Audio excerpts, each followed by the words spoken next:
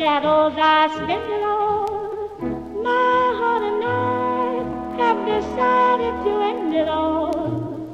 Soon there'll be candles and prayers that are said, I know. Let them not leave. let them know that I'm there.